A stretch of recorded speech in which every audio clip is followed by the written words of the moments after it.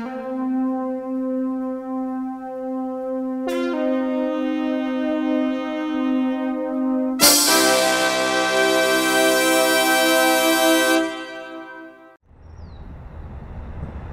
are in Romulus, Michigan at the Railroad Diamond near downtown where they are working on the grade crossings,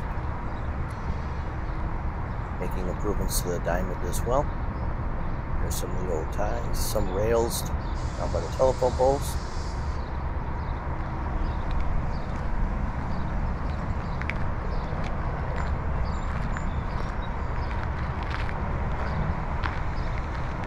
rails are still available for the trains, but you cannot cross there as you see the roadblocks. The white truck down to the right is where the diamond is, and that's where they are working on the track there as well. Let's pile the uh, rails off to the side.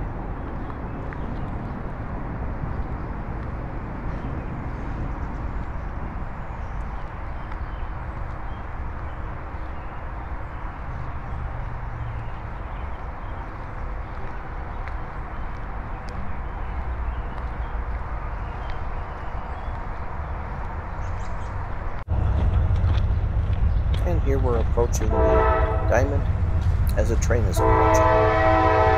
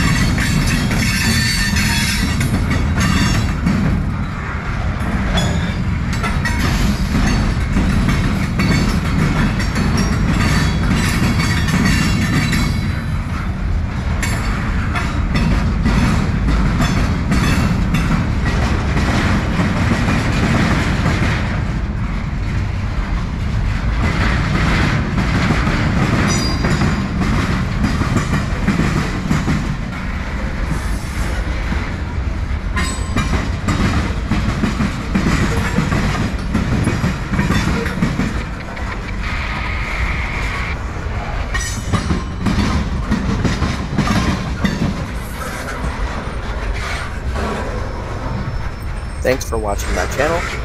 Thanks for watching the video. Hope you enjoyed it. Please consider subscribing. I'd greatly appreciate it. Thanks very much. I'll see you on the next video.